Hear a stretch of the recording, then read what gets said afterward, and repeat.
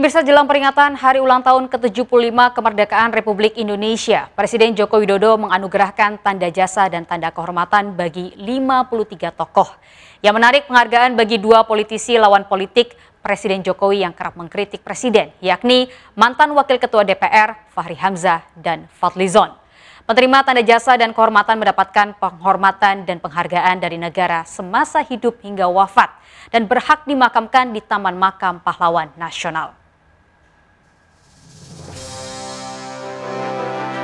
Keberadaan mantan Wakil Ketua DPR Fahri Hamzah dan Fadli Zon di antara 53 tokoh penerima bintang tanda jasa dan tanda kehormatan di Istana Negara Kamis kemarin menjadi sorotan publik. Politisi yang kerap mengkritik Presiden Joko Widodo mendapat kehormatan dianugerahi bintang Mahaputra Nararya dalam rangka memperingati hari ulang tahun ke-75 kemerdekaan Indonesia. Penghargaan bagi lawan politik Presiden Jokowi ini telah melalui pertimbangan Dewan Tanda Gelar dan Jasa. Berlawanan dalam politik, kemudian berbeda dalam politik, ini bukan berarti kita ini bermusuhan dalam berbangsa dan bernegara. Ya inilah yang namanya negara demokrasi. Jadi saya berkawan baik dengan Pak Fahri Hamzah, berteman baik dengan Pak Fadlison. Lalu apa syarat khusus bagi seseorang layak mendapatkan bintang Mahaputra? Yang pertama adalah berjasa luar biasa di berbagai bidang yang bermanfaat bagi kemajuan dan kemakmuran bangsa.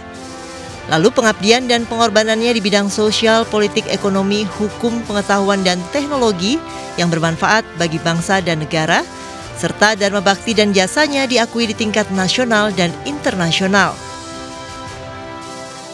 Penyandang tanda jasa berhak mendapat penghormatan dan penghargaan dari negara di antaranya bagi yang masih hidup akan mendapatkan pengangkatan atau kenaikan pangkat secara istimewa, pemberian sejumlah uang sekaligus atau berkala, dan hak protokol dalam acara resmi maupun kenegaraan.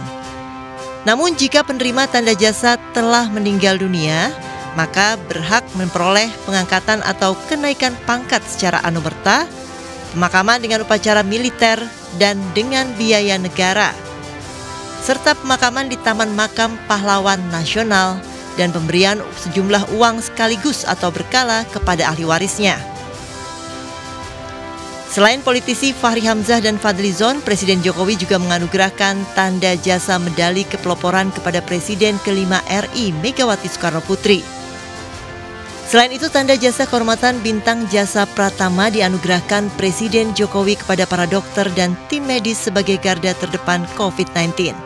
Tim Liputan iNews melaporkan.